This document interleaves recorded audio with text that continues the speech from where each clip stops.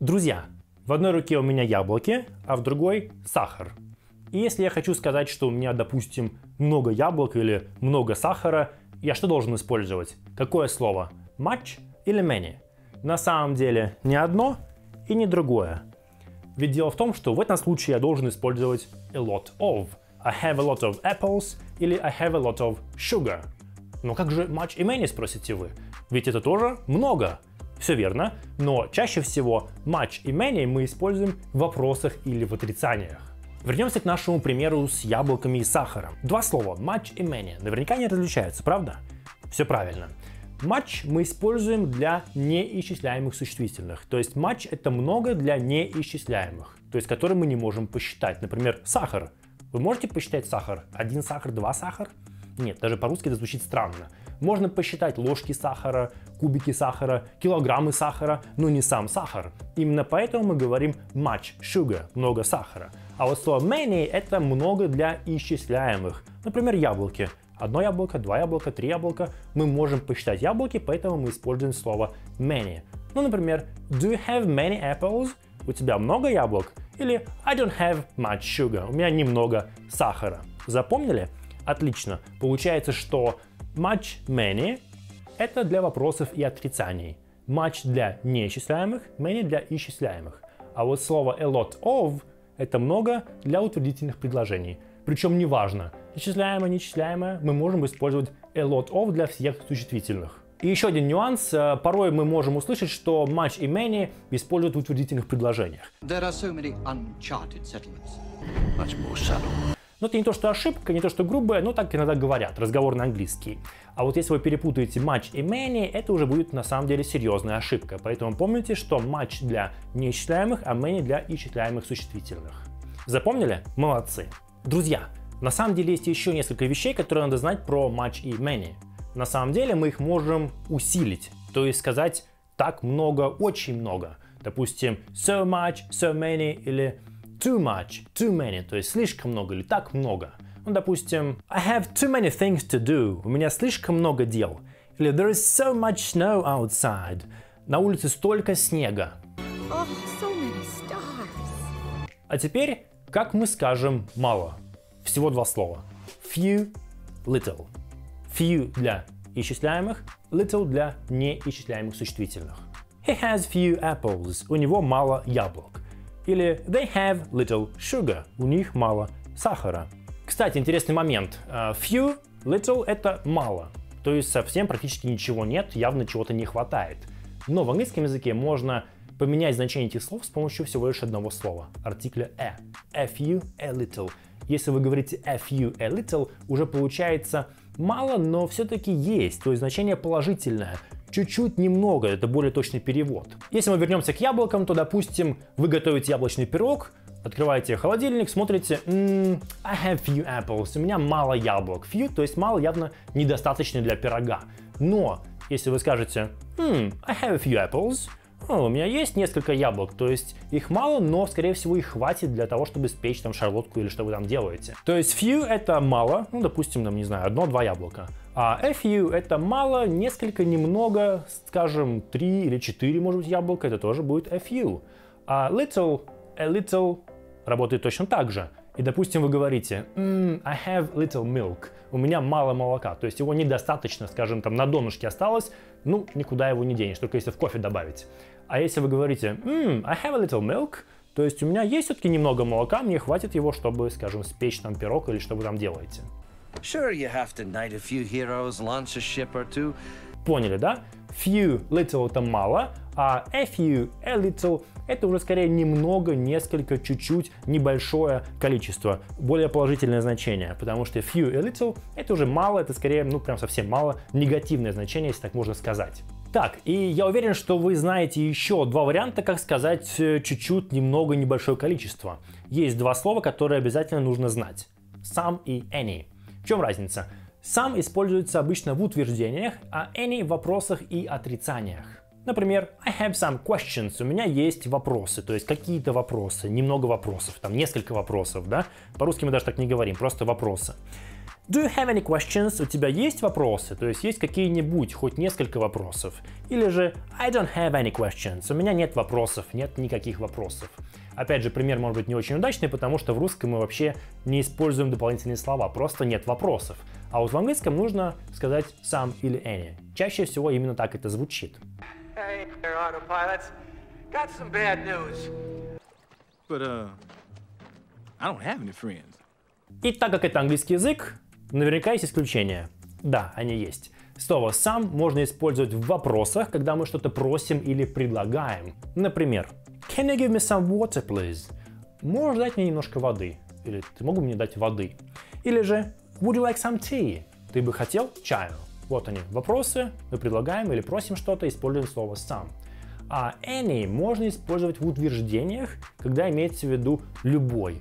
Предположим, any person can do that. То есть любой человек это может сделать. То есть any, любой, вот оно утверждение, слово any мы использовали.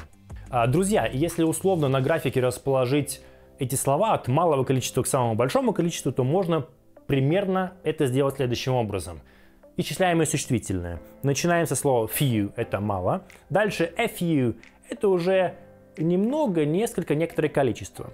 Дальше some any, это примерно то же самое, тоже немного, несколько, чуть-чуть. Потом уже идет слово many или a lot of, это значит много. И слишком много, так много, so many или too many. Для нечисляемых мы начинаем со слова little, это мало. A little это немножко, чуть-чуть. Some any, то же самое, немного, чуть-чуть, некоторое количество. Дальше much, a lot of, это значит много.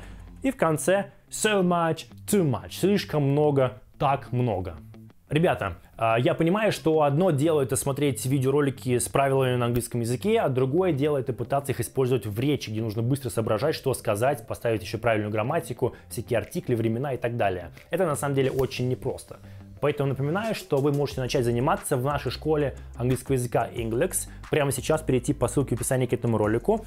С вами будет заниматься профессиональный преподаватель, подберет методику, учтет ваши цели, пожелания, ваши какие-то особенности, может быть. Это все будет учтено, и вы постепенно пойдете к вашей цели, свободному общению на английском языке.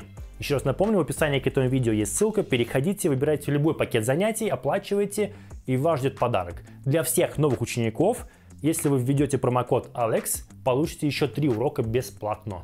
Переходите и занимайтесь. Друзья, на самом деле в английском языке, кроме much, many, a lot of, some, any, есть еще слова, которые можно использовать для того, чтобы посчитать что-либо, не используя цифры. Например, слово several. Several это немного, несколько для исчисляемых существительных. Например, I have several books in English. У меня есть несколько книг на английском языке. Several, запомните. Дальше, что еще есть? Еще есть классное выражение, точно такое же, как в русском, a couple of. Это значит парочка. Слово couple, a couple это пара, и парочка это значит, ну, несколько, немного, ну, парочка, да, две-три вещи. Допустим, they have a couple of great ideas about our project. У них есть несколько классных, несколько, да, парочка классных идей по нашему проекту. Запомните, a couple of это парочка, очень классное выражение. Just think. Couple more days and we'll be back home. Дальше, кроме a lot of, много, есть другие слова, которые имеют точно такое же значение, синонимы. Plenty of, lots of, loads of, tons of, a great deal of. Это все переводится одинаково. Много или очень много. Допустим, we have plenty of time. We have lots of time. We have loads of time. We have tons of time. We have a great deal of time. У нас масса времени, у нас очень много времени. А сейчас э, два продвинутых выражения для тех, кто хочет блеснуть знаниями английского языка. Как еще сказать много, очень много на английском языке? Э, две фразы. Number of или amount of. То есть это просто много, большое число. И перед ними ставится какое-то еще слово. Например, a large number of, или a great number of, или a huge number of, или a big number of. То же самое происходит с amount of. Разница в том, что number of это для исчисляемых существительных, а amount of для неисчисляемых существительных. Например, A huge number of cars was parked there. там было припарковано огромное число машин. Или He spends a great amount of time reading books. Он проводит массу времени за чтением книг. И чуть не забыл. Без этих слов вообще никуда. Как сказать «он съел все конфеты» или «я посмотрел все фильмы про Гарри Поттера». Слово all. Да, слово all это все. Мы же его можем использовать для того, чтобы что-то посчитать, так скажем, да? Все просто. Допустим, he has eaten all the sweets. Он съел все конфеты. Или же I have watched all the Harry Potter movies. Я посмотрел все фильмы про Гарри Поттера. А если сказать, что э, он съел большую часть конфет, или же я посмотрел большинство фильмов про Гарри Поттера, как это передать в английском языке? Все просто. Слово most или most of. Да, это большинство, большая часть чего-то. He has eaten most of the sweets. Он съел большую часть конфет. Или I have watched most of the Harry Potter films. Я посмотрел большинство фильмов про Гарри Поттера. А если же мы говорим, он съел достаточный конфет, больше ему не давать, да? Или я посмотрел достаточно фильмов про Гарри Поттера, ну, не заинтересовало, я посмотрел два, ну и хватит, больше мне не интересно. В этом случае мы используем слово enough. Enough — это все, хватит, достаточно, достаточное количество. He has eaten enough sweets. I have watched enough Harry Potter films. И если вам что-то предлагают, а вы больше не хотите, скажем, больше кофе не хочу, чая, тех же конфет, все, достаточно.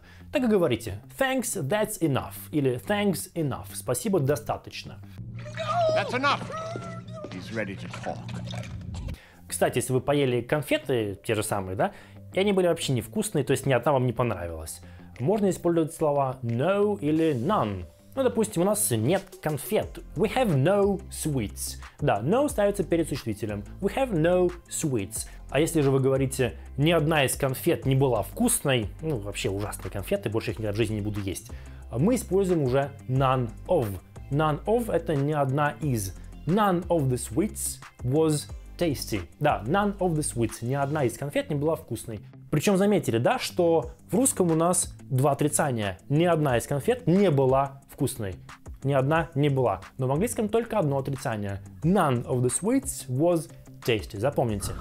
Друзья, если вы любите тренировать понимание на слух английской речи, переходите по видео внизу, кликайте. Это разбор трейлера к фильму «Матрица». Очень классный материал, всем рекомендую. Переходите и занимайтесь.